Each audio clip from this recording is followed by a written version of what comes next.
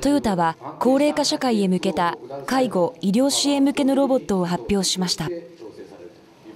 これらのロボットは藤田保健衛生大学と共同開発中のもので自動車で培ったモーター制御技術や二足歩行ロボットの開発で進めてきた歩行制御技術やセンサー技術などトヨタの先進的な要素技術が取り入れられています。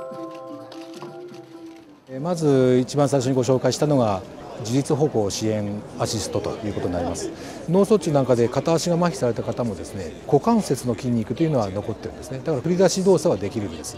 でこの振り出した時のですね振り出し量。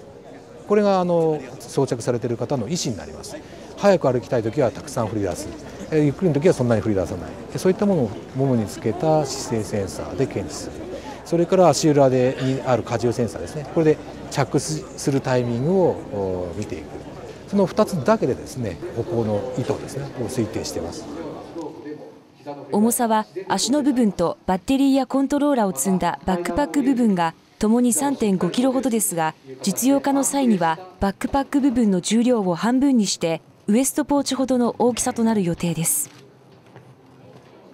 この自立歩行アシストを応用して歩行練習に役立てる実証実験も行われています。回復に合わせて体重のサポート力を変更することで練習初期から自然な歩行の習得をアシストできます。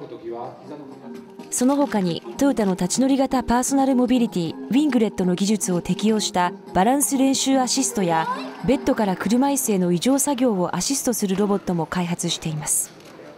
とにかく今までトイレでの作業なんか2人でやってましたからそういったものが1人でもできるようになるということで腰の負担ですね。介護者の腰の負担。それから患者さんのこうなんとなく不完全なこうホールドによる不安感ですね。そういったものが解消できるんじゃないかなというふうに思ってます。